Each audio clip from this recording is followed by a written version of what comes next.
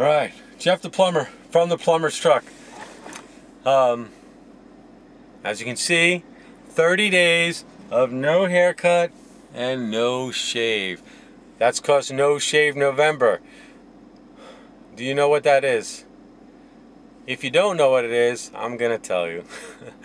no shave November is a month for men to do cancer awareness. So like me, I'm walking around telling all my dude buddies, hey, did you get checked for cancer? Have you been checked for cancer? If you're 50 or above, don't let it slack. Because I know us men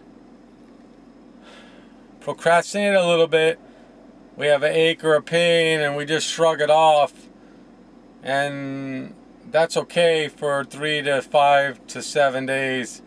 But uh, two weeks later, you're still feeling that pain, go see the doctor or go inquire your doctor. Nowadays, I know we just email our doctor and, and then he will arrange on what he thinks you need or need help with. Um, don't go on the website or on the computer and type in what your pain is and self-diagnose yourself because you could be wrong. Cancer. Cancer is not a joke. I'm sure you know someone who has it or lost someone who has it, who had it. And I have, and cancer is no joke.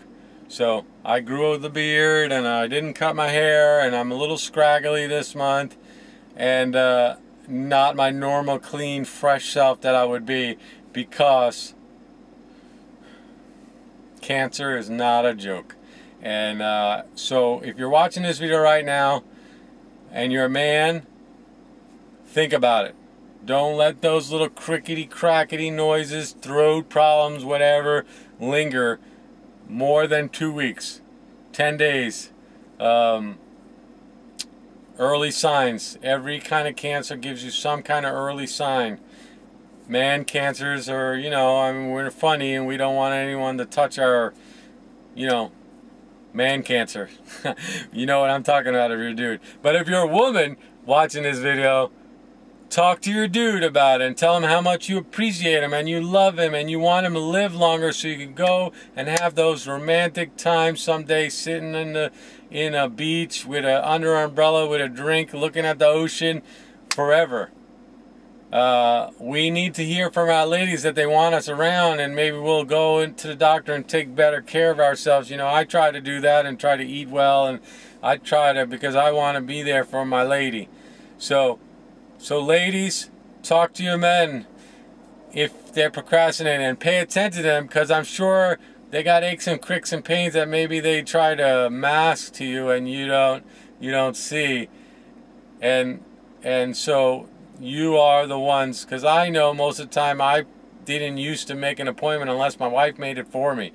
But uh, now I'm really good. I get on the internet and I get right away, send my doctor an email, and he gets responds back to me, and we can talk back and forth, and then I go and get tests done. So don't sleep on it, men.